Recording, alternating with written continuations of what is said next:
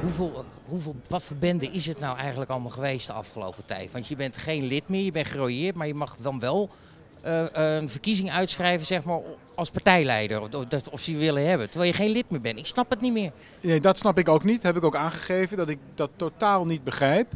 Uh, dat zou je dan dus aan de, aan de huidige bestuursleden moeten vragen. Maar ja, ik denk wel dat ik zo'n verkiezing met goed gevoel tegemoet kan zien. En ik ben ondertussen bezig met een kort geding om uh, mijn ontzetting uit het lidmaatschap aan te vechten. Oké, en de bende die er afgelopen week is ontstaan, ik heb het je wel vaker gevraagd, maar vind je nou echt niet zelf dat je er zelf ook fout in zit? Dat er echt dingen misgegaan zijn?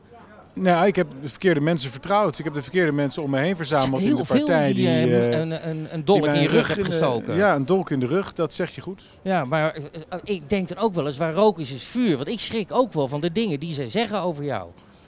Ja, ik ook. En ik herken me er ook niet in. En ik, uh, ik, als ik iemand tegenkom in, in mijn leven die mensen anders beoordeelt om afkomst of om seksuele voorkeur of om uh, migratie of wat dan ook, huidskleur, dan zijn ze nog dezelfde minuut zijn ze uit mijn leven. Dat is onaanvaardbaar.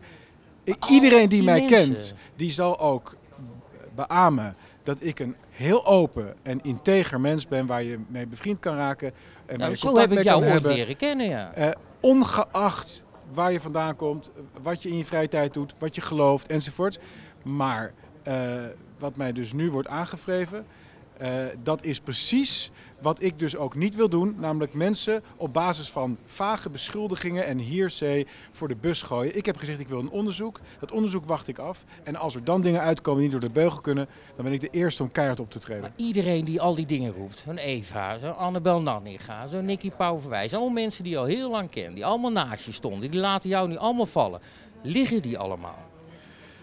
In elk geval zouden journalisten zich kunnen afvragen hoe het kan dat zij zo hoog naast mij op de lijst willen staan. En op het moment dat de bal anders lijkt te rollen, ineens zeggen: Ik weet dit al jaren nee, en ik wil er niks mee te maken hebben.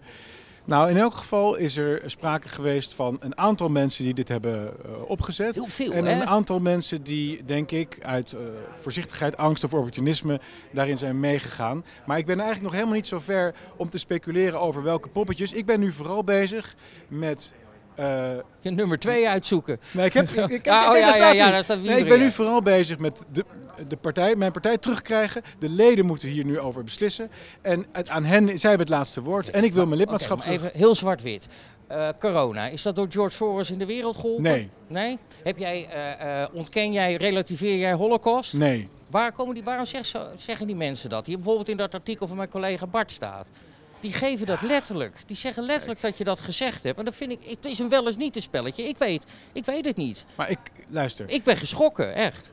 Mijn hele schoonfamilie is van Joodse komaf. Mijn verloofde is van Joodse komaf. De enige man in het partijbestuur die, die, die loyaal nog is aan mij, zat de hele avond naast me waar het over gaat, die is ook van Joodse komaf. Mijn beste medewerkers hier op de fractie zijn van Joodse komaf. En ik sport in een t-shirt van de Israel Defense Forces.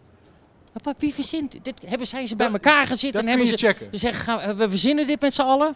Ik weet het. Ik ga niet speculeren, Tom, maar ik ga nu wel mijn werk doen. Succes.